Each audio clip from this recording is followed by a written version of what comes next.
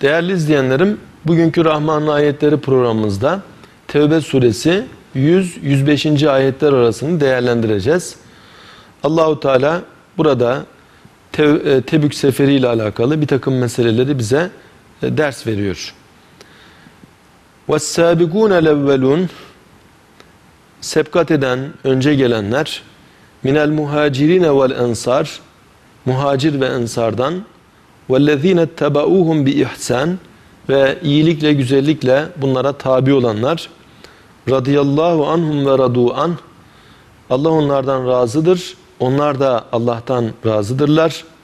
Ve e'adde lehum cennetin Allah onlara cennetler hazırladı. Tecri tahtehel enhar altından nehirler akan cennet bahçeleri hazırladı. Halidine fiha ebede ve onlar o cennetlerde ebedi daimidirler. Zalikel fevzul azim işte bu büyük kurtuluştur. Değerli izleyenlerim e, ayet-i kerime sahabelerle alakalı ve e, önce onları met ediyor. Muhacir ve ensardan sepkat edenler, önce gelenler. Sepkat edenler yani ilk İslam'a girenler. Malum muhacir Peygamberimiz Aleyhisselatü Vesselam döneminde Peygamberimizle beraber Mekke'den Medine'ye hicret edenlere verilen bir isim. Ensar da e, Medineli Müslümanlar. Onlar da kendilerine hicretle gelen bu insanlara sahip çıkıyorlar ve çok güzel bir kardeşlik manzarası yaşanıyor. Bütün zamanlara örnek olacak güzel manzaralar yaşanıyor. Burada hem muhacirden hem de ensardan evvel gelenler, önce saf evvelde yer alanlar. Tabi bir işin temelinde yer almak son derece önemli. Es-sebebu kel fail sırrı var. Yani sebep olan e, bir şeyi yapmış gibidir. Peygamberimiz Aleyhisselatü Vesselam 14 asır önce Allah'ın dinini tebliğe mükellef kılındığında önce tek başınaydı. Ama ardından hanımı iman etti, Ebu Bekir Sıddık iman etti, Hazreti Ali iman etti ve gittikçe iman edenlerin sayıları arttı. E, bunlar e, Es-Sabigun el-Evvelun oluyor. İlk e, saffı evvel olanlar, bu işin başında temelinde yer alanlar. Ve e, bunlar işin çilesini çekenler. Çünkü İslam'ın ilk dönemi Müslümanların çok zor ve çetin bir dönemi. Ve nice insanlar bunların vasıtasıyla İslam'ı tanıyor ve onlar da gidip çevrelerine İslam'ı anlatıyorlar. Ensardan ilk İslam'a girenler Akabe biatında, birinci Akabe biatında 7 kişi gelip iman ediyor. İkinci Akabe biatında 100 civarında veya 70 civarında kişi geliyor, iman ediyorlar. Bunlar da yine saf evvelde yer alanlar. Ensardan ilk safta yer almış olanlar. Dolayısıyla e, gerek muhacirlerden gerek e, ensardan bu şekilde saf ve evvelde yer alan, İslam binasının temelinde yer alan kimseler وَالَّذ۪ينَ اتَّبَعُوهُمْ ihsan ve ihsan ile, güzellikle onlara tabi olanlar. Burada onlara tabi olanlar derken e, diğer ehli iman, diğer sahabeler, onlar vasıtasıyla iman eden diğer kimseler bu anlaşılır. Kıyamete kadar e, mana itibariyle düşündüğümüzde kıyamete kadar gelen bütün Müslümanlar da buna dahil sayılabilir. Çünkü biz de onlara tabi olmuşuz. Onların gittiği yoldan gitmeye çalışıyoruz. E, peki bunların durumu nedir? Radiyallahu anhum Allah onlardan razıdır ve radu anhu onlar da Allah'tan razıdırlar. Allahu Teala'nın razı olması demek e, ona ikramda bulunması, e, dünyada ahirette onu hoşnut etmesi bu gibi manaları ifade eder. Ve onlar da Allah'tan razıdırlar.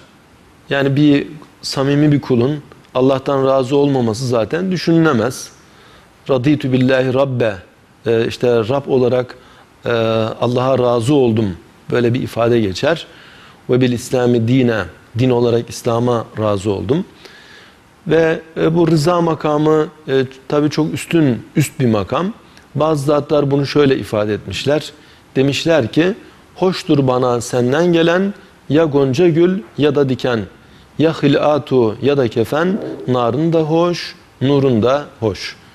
Dolayısıyla e, adeta bir ölü nasıl e, kendini kendisini yıkayan kimseye teslim etmişse e, Allah'tan razı olma makamında olan kimseler de kendilerini tamamıyla Allah'ın tasarrufuna terk etmişlerdir. Gerçi bunlar hürdür, iradeleri vardır ama kendi iradelerini Allah'ın iradesine teslim etmişler. Yef'alu bina keyfe yeşâ. O bizde dilediği gibi tasarrufta bulunur demişler.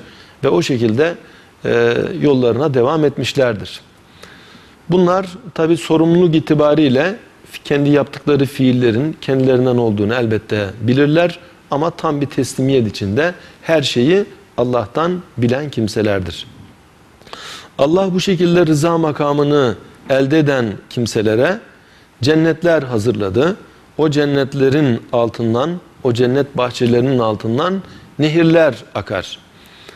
Ve onlar orada daimi ebedidirler. Yani geçici bir cennet herhalde çok da işe yaramaz. Bir milyon sene de olsa, bir milyon yıl cennette yaşa, daha sonra yok ol git. O cennet pek bir mana ifade etmez.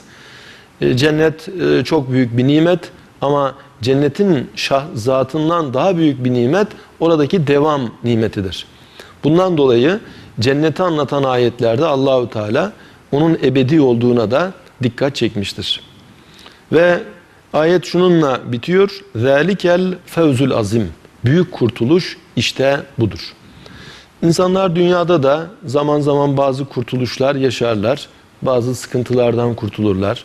Bazı e, güzel şeyleri elde ederler. Diyelim bir insan gariban bir haldeyken, e, evi yokken, e, çok güzel bahçeli bir eve sahip olsa artık dünyalar onundur. Sevinç içindedir. Ama cennet bunun gibi değil. Bununla kıyasa girmeyecek şekilde en son giren kimseye bile dünya genişliğinde bir saltanat, bir servet verilecek. E böyle olunca elbette büyük kurtuluş o cenneti elde etmektir. Ve mimmen havlekum minel arab münafigun. Sizin çevrenizdeki o bedevilerden münafık olanlar da var.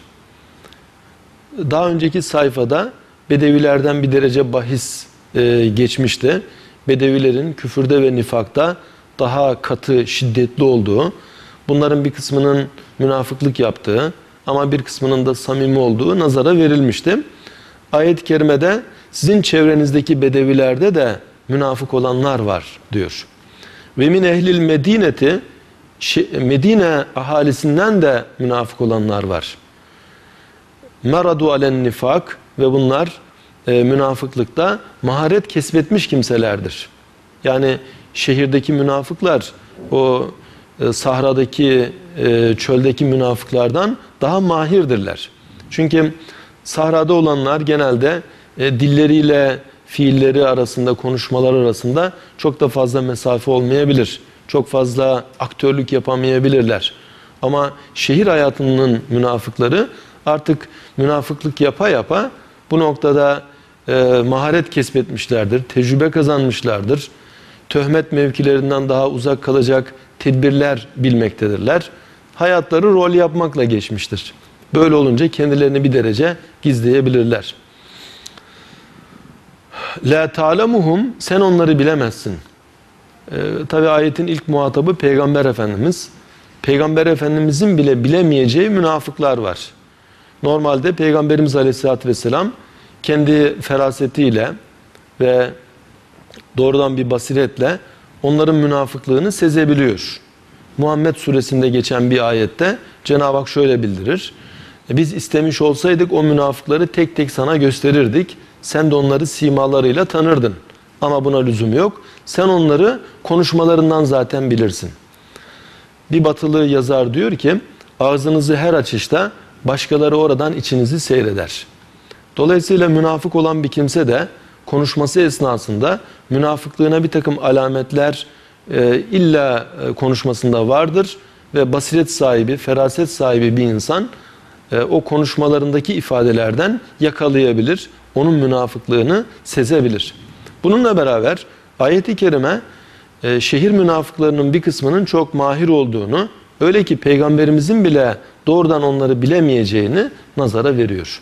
Ancak vahiy ile bildirilir. O zaman peygamberimiz de bilir ve tanır.